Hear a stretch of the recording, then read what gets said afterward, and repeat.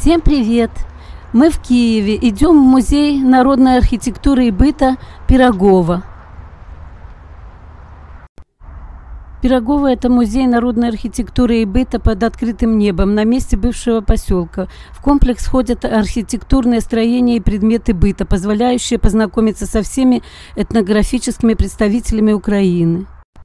Сейчас октябрь 2022 год.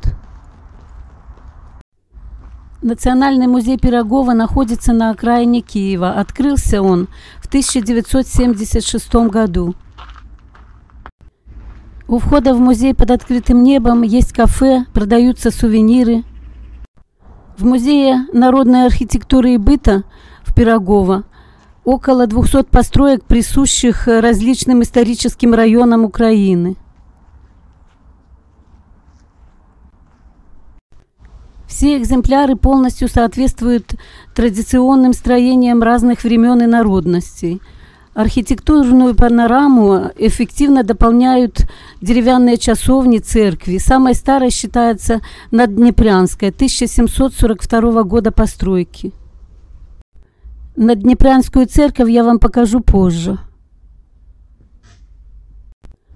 Предметы быта жителей Черкасской области.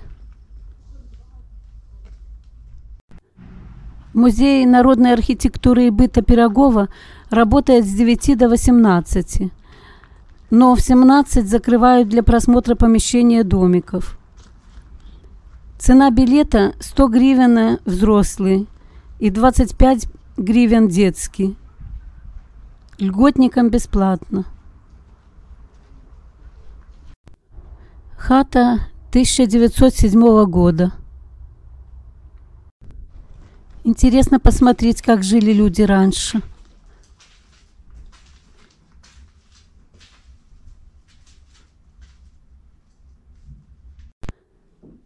Так жили люди в 1907 году в Черкасской области. Посмотрите, какая мебель, травы разные, печь, посуда –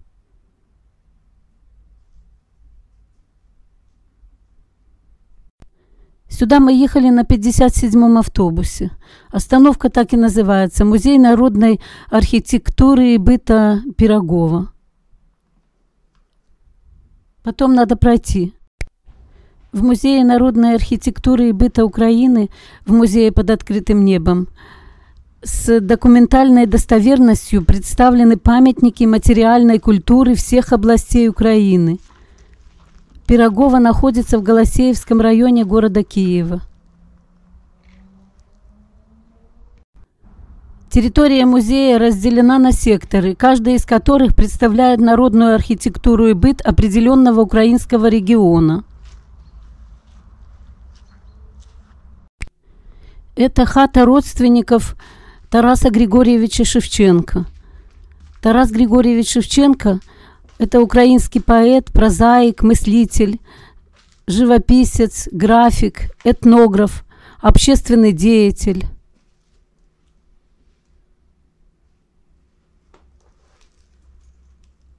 Вот так жили родственники Тараса Григорьевича Шевченко. На стенде фотографии и описание имущества, которое было в доме – все родственники на фотографии. Хата родителей Тараса Григорьевича, его рисунок. Образцы жилья крестьян и мастеров, здания сельской управы, деревянные церкви содержат в себе элементы народной утвари, дающие представление о жизни в украинских селах.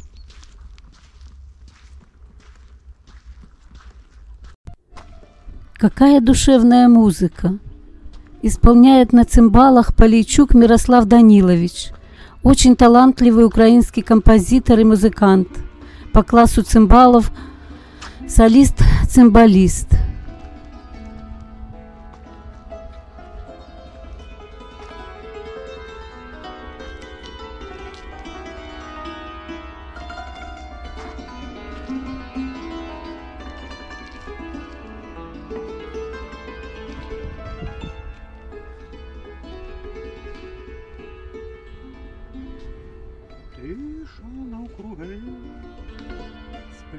сплять усі луги, тільки ти і я, і ясна зоря.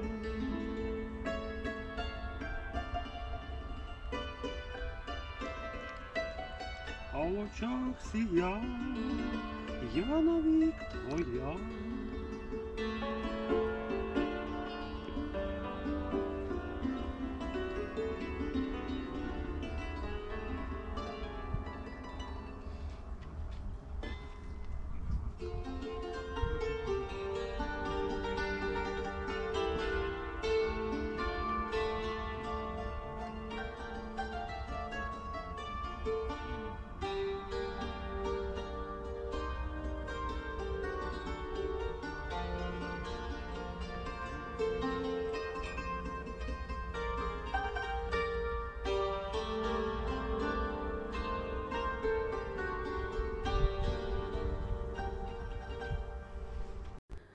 Музей народной архитектуры и быта в Пирогово занимает 150 гектаров.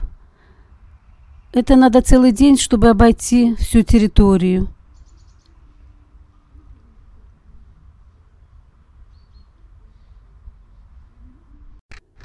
Посмотрите, какая здесь красота, как здесь спокойно, умиротворенно. Хата конец 18 столетия в Черкасской области. Вот эта хата. Зашли вовнутрь. Чердак такой. Такая обстановка внутри хаты. Скамейка, стол, печь. Интересно посмотреть.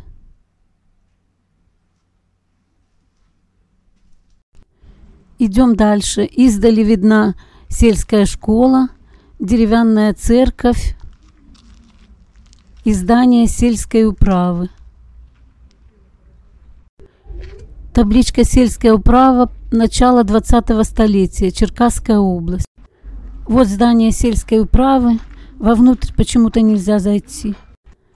Сейчас зайдем в старинную церковь. Церковь 1742 года. Старинная церковь снаружи. Сейчас пойдем вовнутрь. Церковь построена в 1742 году. Вот такая церковь с другой стороны. Красивая. Смотрите, какая дверь интересная. Зашла вовнутрь, посмотрите, как внутри в церкви. Покажу вам школу 19 столетия. Сейчас зайдем вовнутрь школы.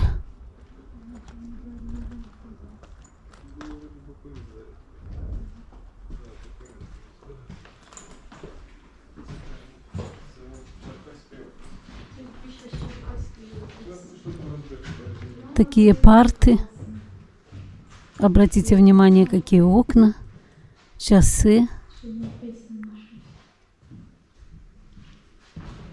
доска, счеты, стол, глобус.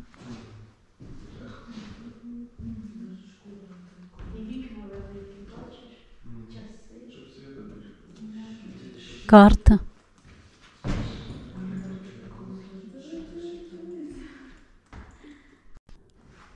Сейчас пройдем в другую комнату.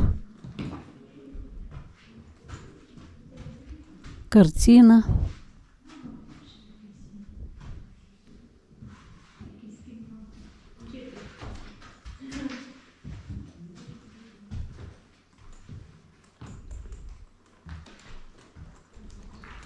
Сервант, посуда здесь стоит.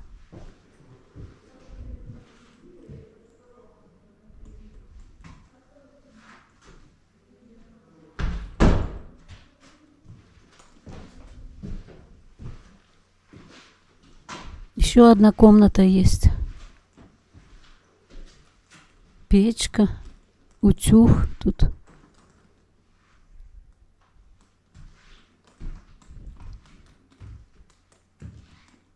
Еще одна комната, комод и кровать, и стол.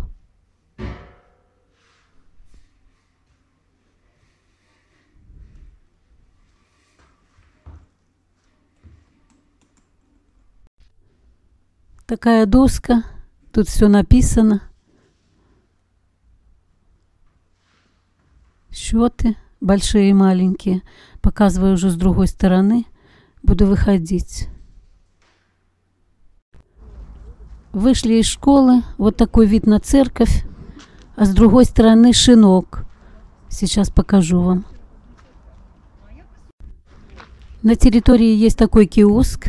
Здесь э, продают сувениры, изделия из дерева, веночки красивые, украинские, сумочки.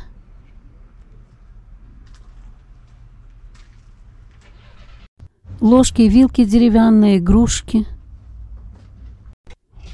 Вышиванки тут также продаются. Шляпы. Варенье из сосновых шишек. Разные бусы, браслеты на руку, разные сувениры, подкова, леденцы на палочке. Браслеты на руку стоят от 20 гривен. Носки –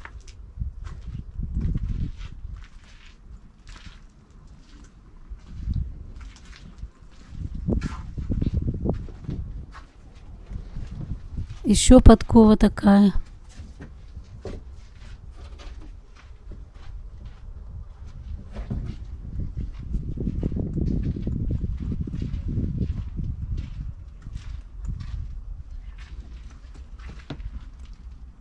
Домино.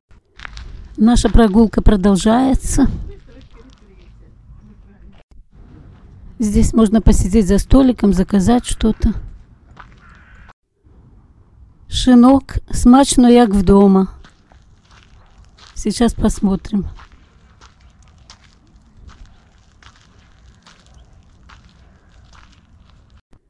В этом доме находится шинок. Можно заказать напитки, покушать. Вот такая территория во дворе.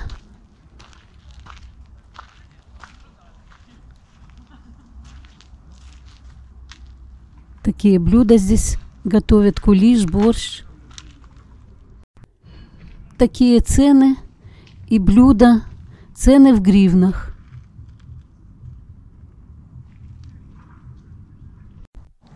До 22 года мы часто сюда приходили, но в этом году мы первый раз только сюда пришли.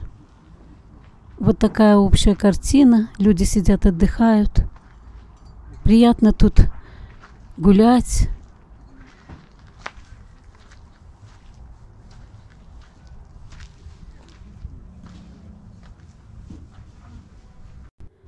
При входе в шинок такой вид. Будем идти дальше, потому что мы в любом случае все обойти сегодня не успеем. Мы приехали сюда не с самого утра, а где-то в 11. Лучше ехать сюда с самого утра. Еще один сувенирный киоск. Тут также продаются изделия из дерева и другое. Большое разнообразие разных сувениров, бусы.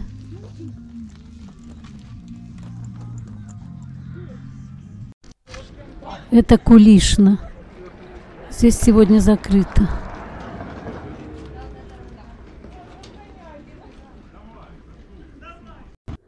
Это кафе.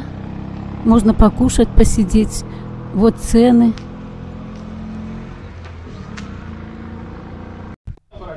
Пательня. Здесь вкусную еду готовят. И шашлык, и много блюд разнообразных.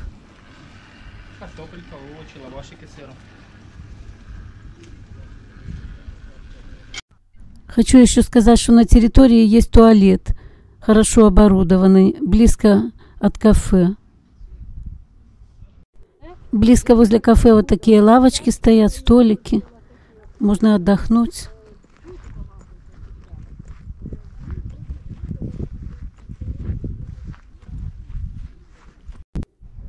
Центром экспозиции является расположенная на холме группа ветряных мельниц. Спасибо всем, кто посмотрел это видео. Я желаю вам мира и добра. Остальное будет в следующем видео.